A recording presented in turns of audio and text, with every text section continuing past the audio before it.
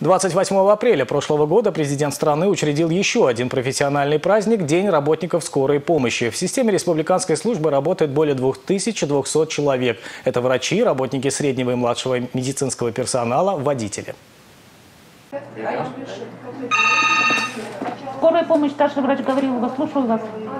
Служба скорой работает круглосуточно, без перерывов и выходных. И сегодня свой профессиональный праздник. Многие медики и водители, конечно, на посту. От их слаженной оперативной работы зависит здоровье, а то и жизнь пациентов. Глава республики вручил награды профессионалам своего дела. Люди в белых халатах э, находятся на передовой. Ваша работа позволяет быть в системе скорой медицинской помощи, в системе Центра медицинских катастроф, э, быть первыми.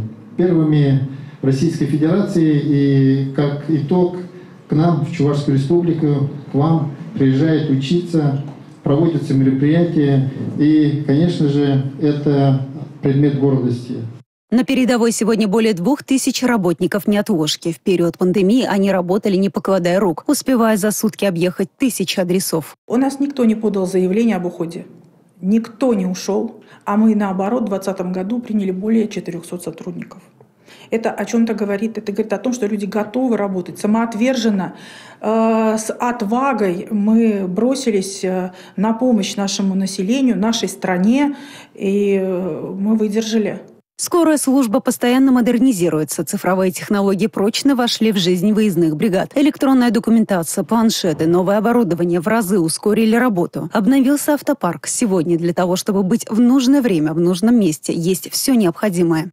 За эти годы очень, очень много изменилось. Изменился автопарк, изменились подстанции, все обновилось, оборудование э, новое все поступает, поступило, машины все оборудованные, э, машины класса С со всеми оборудованием, которые для оказания скорой помощи надо.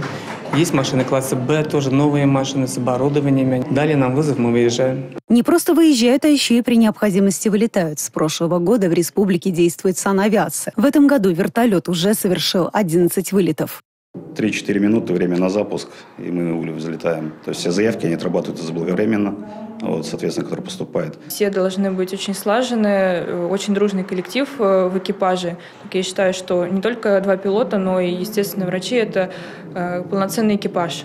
Вот. И работа слаженная, достаточно дружная именно в нашем авиамедицинском экипаже должна быть на высшем уровне, так как от этого зависит, естественно, жизнь пациента. Наталья Мальчикова, Юрий Марков, Республика.